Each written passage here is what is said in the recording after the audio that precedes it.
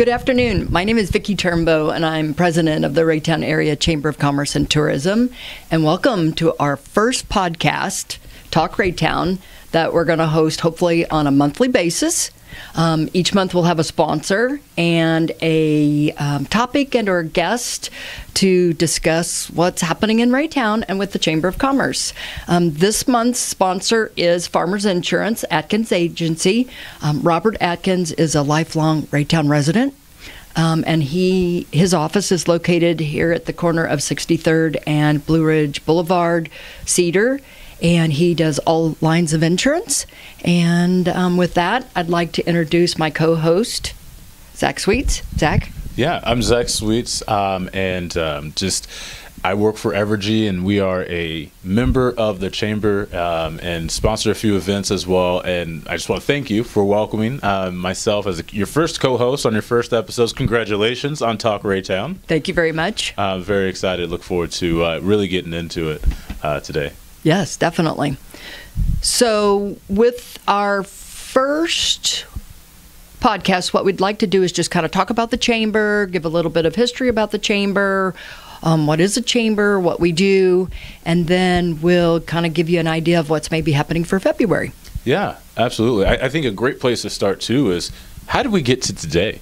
Um, whose brainchild was it um, to bring a podcast to the uh, Raytown Chamber? So the original idea was from our immediate past chair, Patrick Nelson, who is joining us today. Hello, Patrick. How are you? Hello. and just off screen. Yeah, just off screen. And in September, for a luncheon topic, we decided to talk about what are some tangible obtainable goals that we could do for 2024 and one of the items that came out of that is video, more Facebook Live, and it was mentioned about the podcast.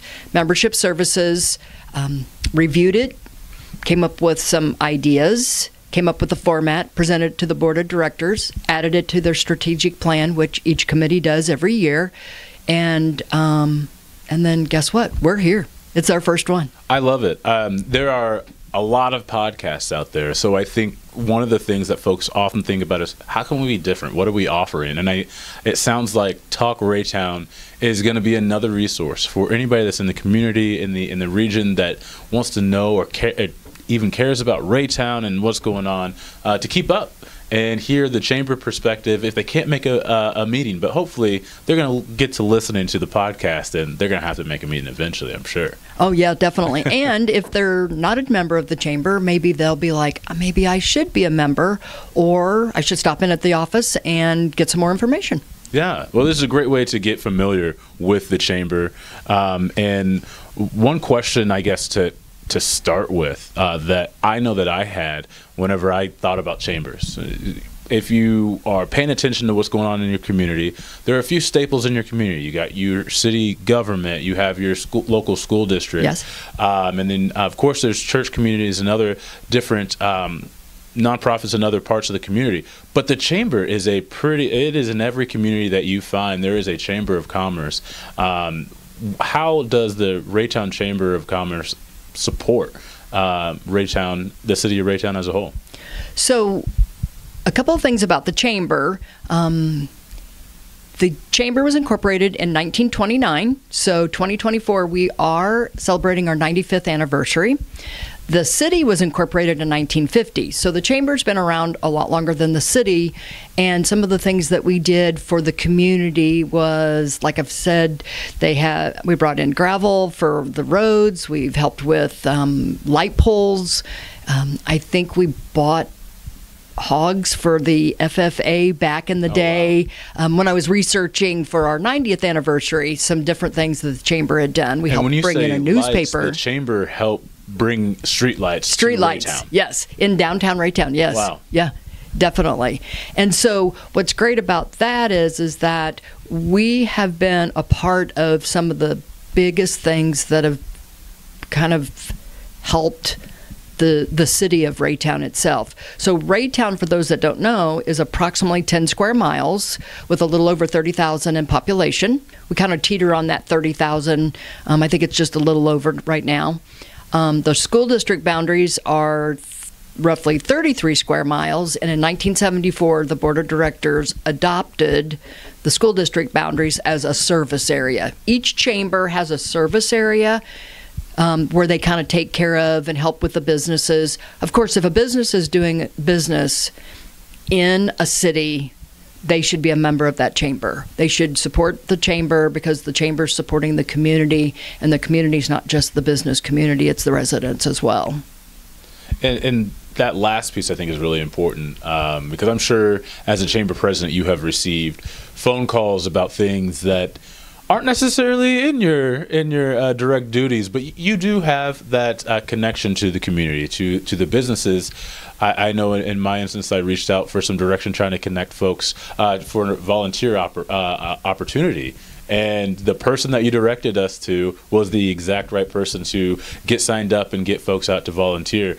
Um, do you do you does, does the chamber get a lot of those uh, field a lot of those random questions where someone might not know where else to go so i think sometimes what a chamber can do is if we don't know the answer we're going to find it out for you i will tell you that right now but we're going to know then they're not going to have to go through five or six people to mm-hmm. get to where they need to be. You know, we have people right now calling, um, looking for a reputable company for snow removal, um, someone to do plumbing, um, and so. I think they feel like maybe we've not vetted somebody by then, but if a person is a member of the chamber, which is who we refer, um, we're able to do that for them. Yeah, and again, that's that's there's a directory on the chamber website, but yes. sometimes you just want to be able to call somebody that knows something, right? Yeah. Um, just this week, I had somebody say, "A live person. Thank you for answering the phone." yes. Yeah, and that's that's just one aspect of what the chamber uh, offers to the community as a whole. Um, and so it sounds like the chamber is oftentimes working in concert with some of the other pieces of the community uh, to really bring Raytown forward. Yes. Um, and um, understanding what the chamber does before we kind of pivot into what it does for its members there is one uh, one other part that I, I, think is really important to, mention is the chambers uh, the, the building foundation but not because a building foundation is fun and exciting but if you've driven past the chamber in the uh, past few months, uh, you've seen a brand new chamber building. Correct. That also looks like I might be able to park there and jo- and walk on a trail. Is that correct? Yes. So. Um, when Jackson County purchased the um, Rock Island Railroad, excuse me, um, and decided to do the um, shared use project between the trail and the rail, they put in the Rock Island Trail from Lauderdale at the stadiums through Lee Summit. There's 3.3 miles that go through Raytown, and when people ask, Where's the trail? In front of the chamber office, and we're located at the corner of 59th and Raytown Trafficway. It's the 10 foot wide sidewalk that's right right in front of the building. When they decided to do the trail, we decided, the chamber board and the chamber decided that we would remodel our building because it really needed um, some help. And then we also added tourism to our name because we felt that if we were going to be sitting right on the Rock Island Trail, we needed to um, do that to promote the tourism in the community. And then the building is owned by a 501c3, which is a building foundation. So it's a charitable organization, and they're able to, um, we were able to get grants. and um, from beginning to end, we raised $370,000. Wow. And that's, as I said, that is a space that, if you're just driving by, is is welcoming, um, as welcoming as, as any building can be. But I mean, I can stop uh, with my bike and repair my bike. Uh, I see a repair station there. I can just take a load off for a second and uh, let my feet rest. Um, and then just keep on going. But I mean, I can get on the Rock Island Trail at the Raytown Chamber and make my way over to St. Louis yes. through, the, through, its connections across the state. That's correct. Wow. Um, not very many chambers can say that. Well, I have people ask me, why did we build a trailhead at our location? and it just made sense. Why did it make sense? So for us, we felt that um, the chamber is a part of the community, and by building the trailhead, so there is a repair station, there's um, benches that you can sit, and when the chamber office is open, you can go in and get water out of the water fountain. There's a bathroom. You can use a bathroom. Um, we have people that'll park there and they get on the trail and they'll go toward the stadium. We have people that'll park there and also um, ride their bikes to um, the Royals game. Oh, that sounds fun. Yeah, and then we've had people that'll park there, and then they go to um, um, Hartman or Hartman Park in um, Lee Summit, and then back. So um, we have a lot of people that will walk it. They walk their dogs. The kids get out, um, but they can park in the parking lot. That's exciting, um, and, and, I'm sure you see the traffic every day. coming through, which is further exposure and let folks know, hey, we're the Raytown Chamber. We're here if you need us. Um, and speaking of needing um, the the chamber, uh, that's really where the uh, as folks would say, it's the the meat and potatoes of what you what the chamber does, and it's, support, it's to support um, businesses in Raytown.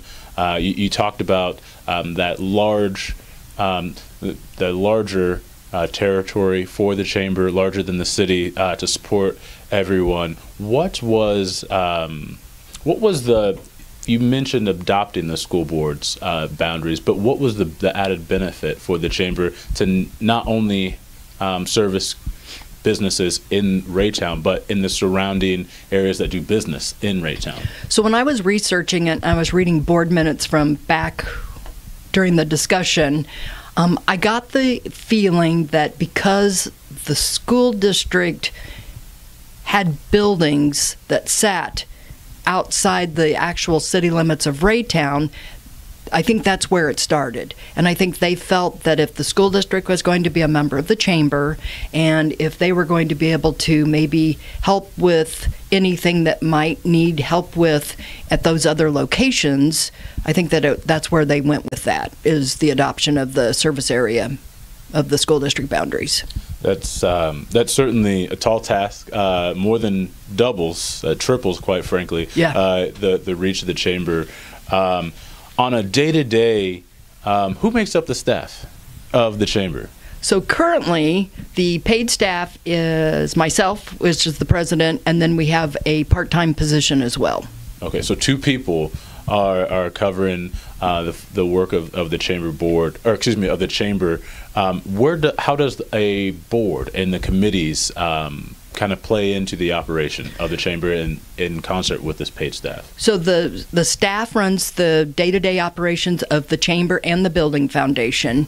The all the events, luncheons, coffees, after hours. Um, Raytown Night at the Royals, Raytown Night at the Comets, golf tournament, Eastern Jackson County Bash. All of those things are done through the chamber, and um, the board of directors they um, set policy. And once the policy is set, and they have approved the strategic plan, which for some could be the business plan. Um, we do that yearly and um, then the chamber make the chamber staff make sure that the business plan, the strategic plan, is followed on a yearly basis. And then the committees are set um, by the chair of the board.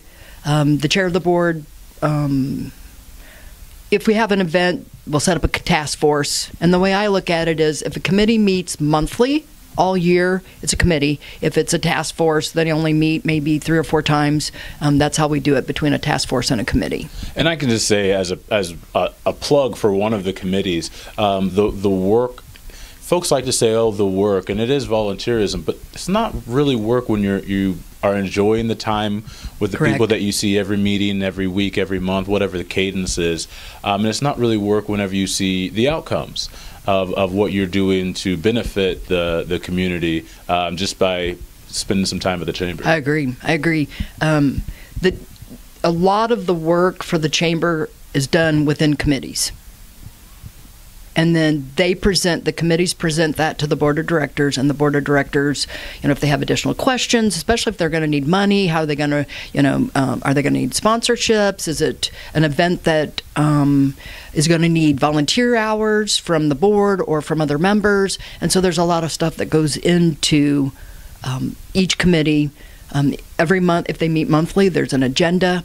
Mm-hmm. Um, right now we do zoom and um, in person So there's a lot that goes into the committees. And a lot of participation too. Oh, sure. Um, it's not just three people sitting on a Zoom call looking at each other. Right. Um, there, there's a lot of uh, com- um, participation and just pride uh, from individuals that are a part of the chamber. They're proud to to be an active member um, of the chamber. Speaking of membership, how many roughly um, businesses? Um, or just I'll say members to spe- keep it broad. Does the Raytown Chamber have right now? So right now we're at 228, which totals 377 individuals. Oh wow! So some members will have more than one um, person listed. So if you go to the chamber's website, which is raytownchamber.com, at the top there's directory, and you click on it. So let's say you put in um, Evergy.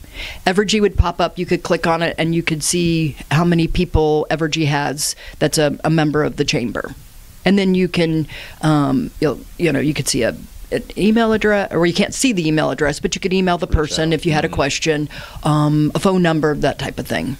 And that's it, it's great to see corporation not corporations but companies businesses large and small Yes. um, and i actually took some time to look at the membership um, ahead of getting getting down to the podcast just to have a better feel i go to uh, our monthly meetings and and uh, very active but i didn't really know all of the membership tell me if you could what is it like as a member or excuse me as a president of a member organization. You have over 200 organizations that are members. I'm sure some of them are more active than others. Um, what is it like for, for you to have that interaction with varying industries, varying people, varying um, interests and issues that are that are going on? Um, does the chamber, does the chamber president have a have a pulse on on the community, at least from the business perspective, or do you kind of get lost in all of the everyone's got something going on? So, from my standpoint, what I like to do is is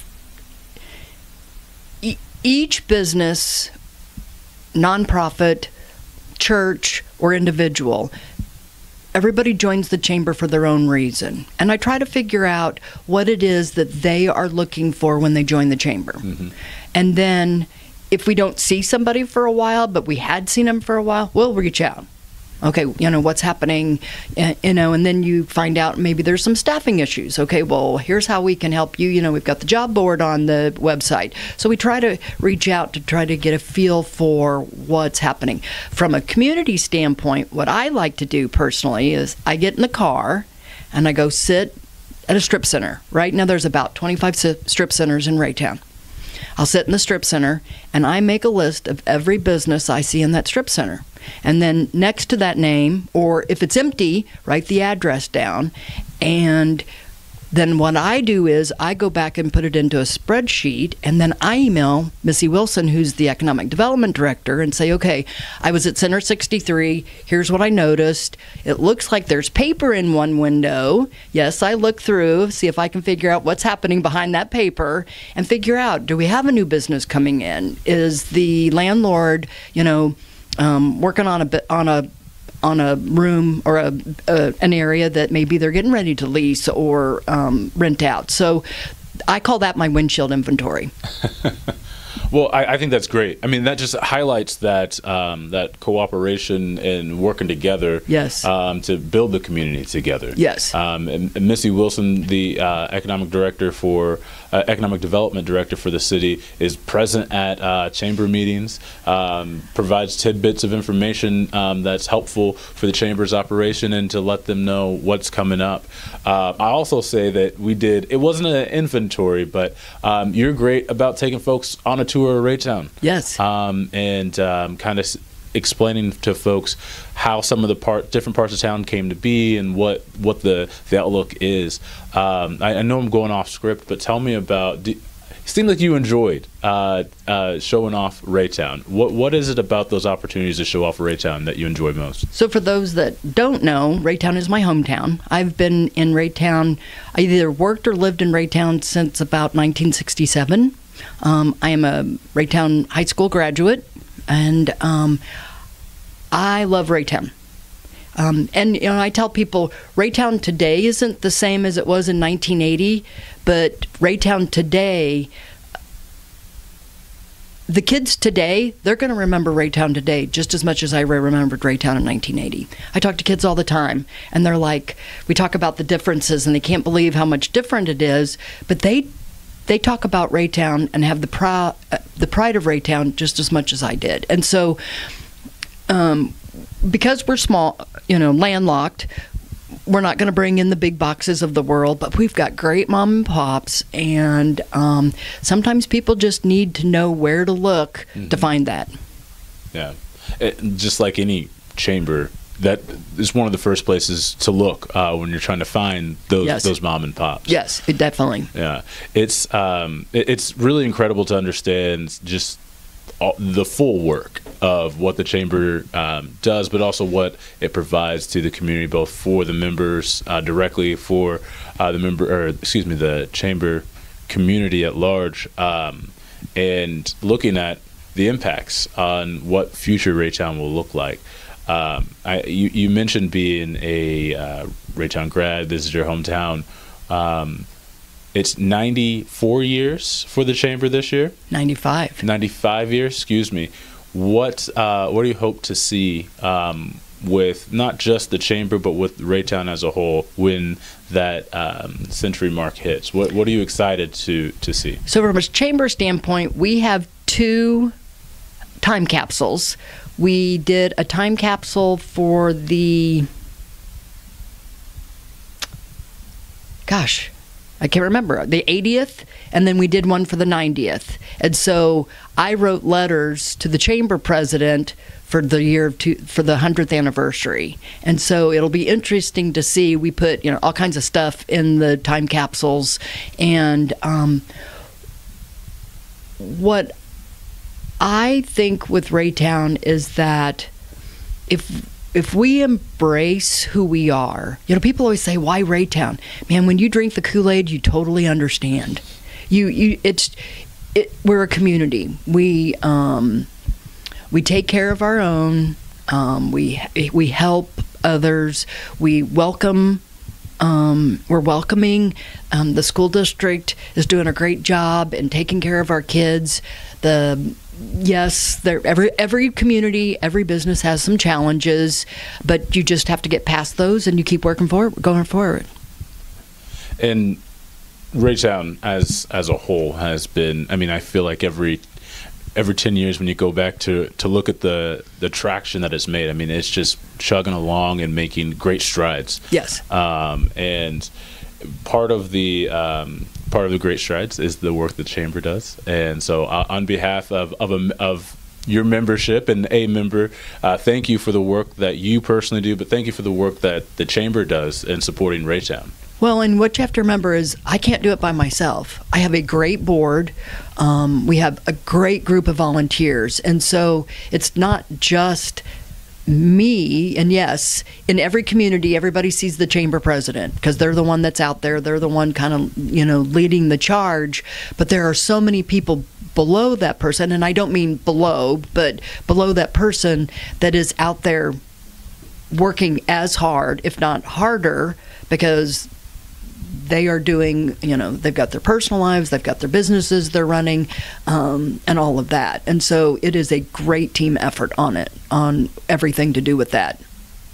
And and speaking of the the team effort, um, are there any team lifts, any events, or anything exciting coming up that the chamber's putting on um, as we look look forward to February? Um, I know. Can you believe it's already past the middle of January? Yes. So. Um, we're doing for the first time Raytown Night of the Comets, and it's um, February 10th. It's a Saturday. If you go to the Chamber's website and um, click on event calendar, scroll down and look for February 10th. If you click on the link, you can buy your tickets. And the reason we decided to do with the Comets is that for those that don't know, the World Cup will be in the area, and we're going to have probably seven to nine soccer games that'll be hosted at Arrowhead, GEHA Field, mm-hmm. Arrowhead, and if you don't know, Raytown is right here. We're backyard to the ballparks. And so we decided we'd start that snowball, getting people used to soccer.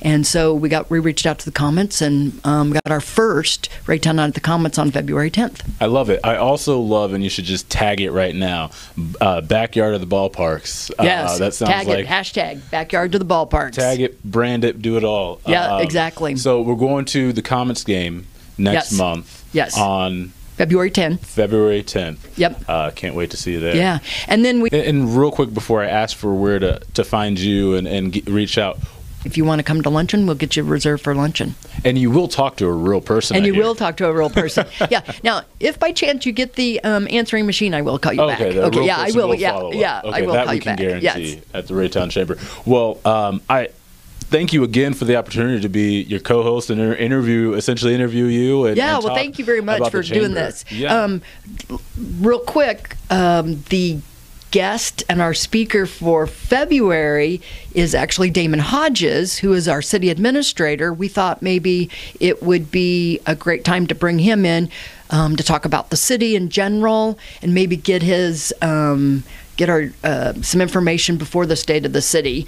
And the podcast will be taped each month, and then we'll put them live on our social media. So oh, fantastic! yeah. So we'll be able to find this on on the webs uh, chamber website, Yes. on his Instagrams and Facebook and everywhere. Yes. um, and be sure to definitely um, follow and share. Make sure you let other folks know this is the place to be to hear uh, straight from the Raytown Chamber talk Raytown um, with. Uh, with Vicki Turnbow, the president of Raytown, the Raytown Chamber, I greatly appreciate the opportunity.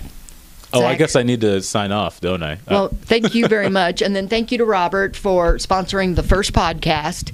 And with that, Yes, uh, Robert, we got a sticker coming for you for the first podcast Yeah. uh, uh, uh, sponsor. But uh, with that, I'm Zac Sweets, um, and we'll talk to you next time on uh, Raytown Live. yep. Thank you.